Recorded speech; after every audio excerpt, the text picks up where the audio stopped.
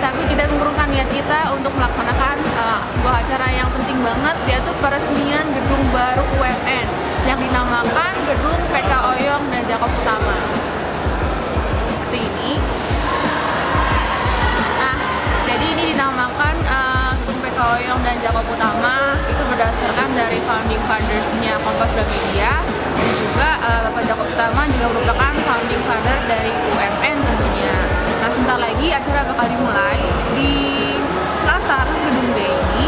Nanti akan banyak banget tamunya dari Kompas Gramedia ada, dari UMN dan juga dari beberapa undangan lainnya kayak dari sekolah-sekolah, media, semuanya pokoknya ada. Jadi terus aja ikutin aku, kita akan lihat hari ini kegiatan seperti apa.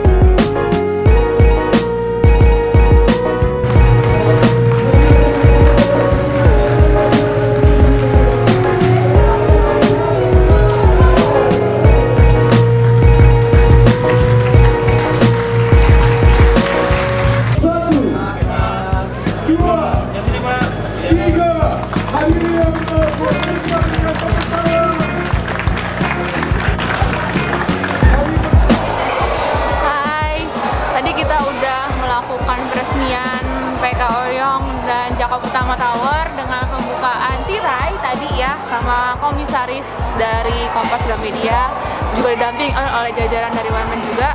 Sekarang ada seminar semacam kayak pembukaan gitu sih sebenarnya dari eh, tamu-tamu undangan juga ada dari petinggi juga ada di sana di lecture theater yang baru. Siang, selamat datang. Selamat datang.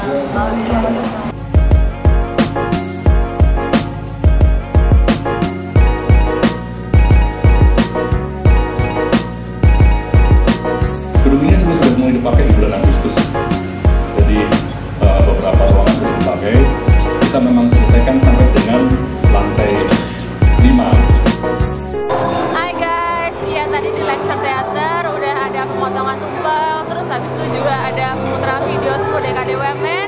Berarti berakhir juga acara hari ini. Dan sekarang juga udah makan-makan, semua tamu undangan, lalu apa namanya teman-teman mahasiswa dan semuanya lain juga udah pada makan. Berarti resmi gedung PKW dan Jakarta Utama sudah bisa dilaks- eh, sudah bisa digunakan sejak hari ini. Ya udah gitu aja buat teman-teman mahasiswa UMN selamat menggunakan fasilitasnya dan dijaga juga